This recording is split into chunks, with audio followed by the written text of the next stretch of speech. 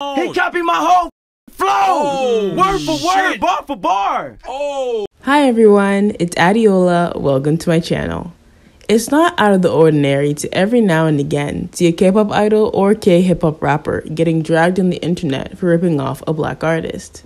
From Korean rapper Blase Kid going viral for copying Playboi Carti, to Namjoon of BTS getting dragged for flowjacking Kendrick Lamar, to Tupac's mother taking action against K-pop group Baby Vox for using his music and image without prior permission.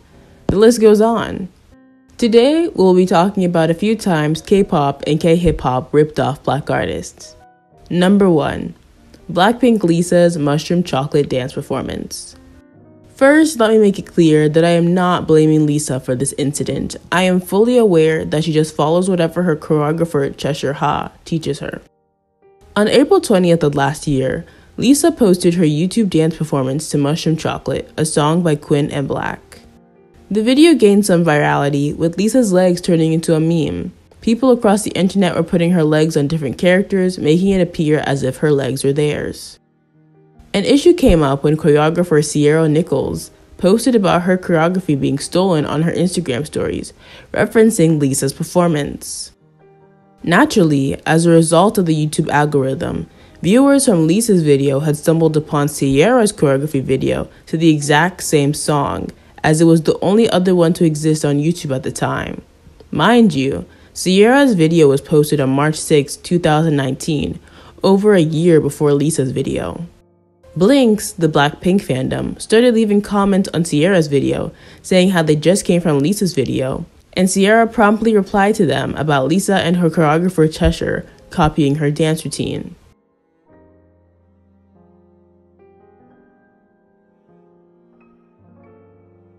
Once this began to spread, Blink started to harass Cierra, calling her a clout chaser, mocking her dance moves, and even accusing her of pulling the race card. If you look at the video, it's clear that a chunk of Lisa's choreography was a straight rip of Cierra's dance routine, even though Blinks would rather die than admit this.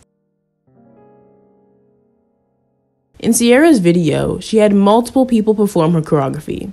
For this side by side, I chose one of the dancers that had a similar body type to Lisa and Cheshire for a clearer comparison.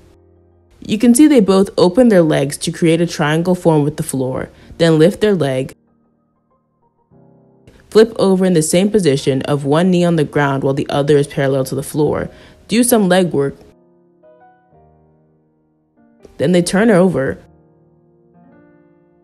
put their legs in the air to do some kicking, and then bring both hands to their neck. They both also go down to the floor, head first, then torso following, with their legs bent in a V.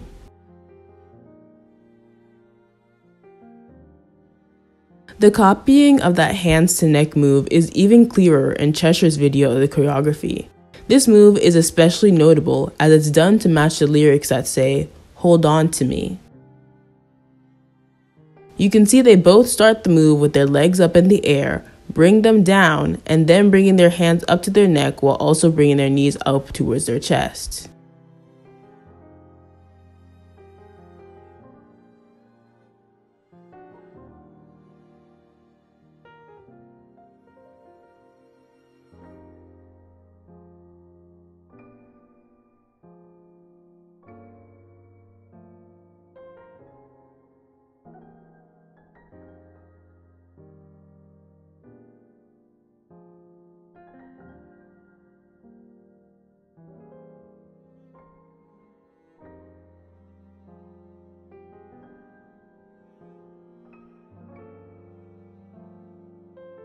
There is no way this is all a coincidence, especially taking into consideration that Cheshire and Cierra follow each other on Instagram, where she most likely originally saw Cierra's choreography for the song.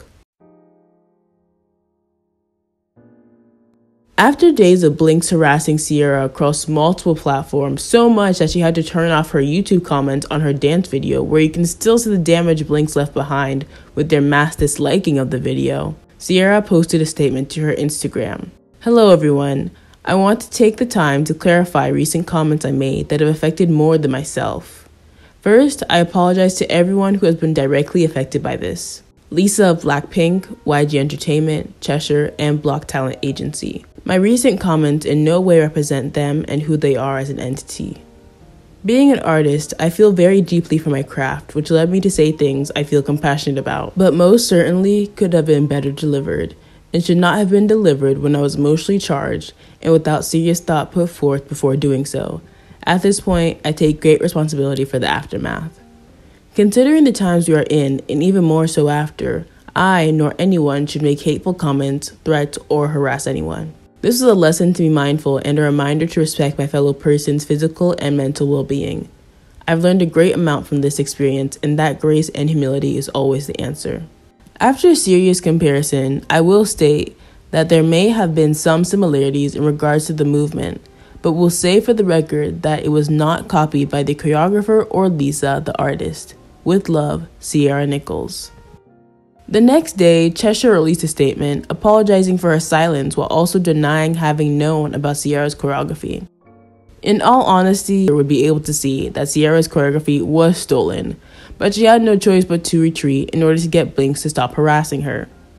This wouldn't be the first time a YG artist copied a black artist's choreography without giving credit. Dancer Jay Blaze, who has choreographed for many stars, including Justin Bieber over the years, found his choreography being stolen and performed on TV by a YG trainee team when fellow choreographer Sean Evaristo alerted him on Twitter. Jay Blaze responded with understandable frustration. I'll read you a few of his tweets. Y'all, these N words didn't just bite moves, they took the whole choreography. LMAO, where's my check, YG?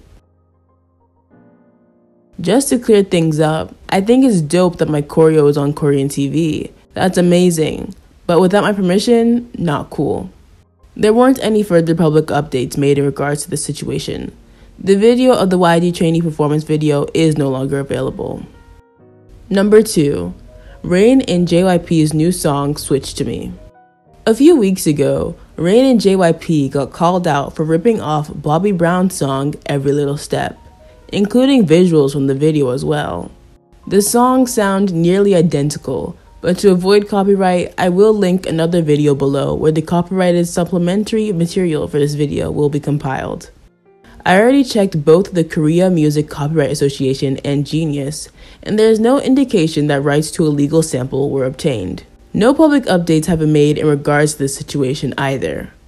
Personally, I don't find this ripoff surprising, as JYP did something similar before with his 2000s girl group, the Wonder Girls. The concept for one of their biggest hits, Nobody, was a straight copy of the Supremes.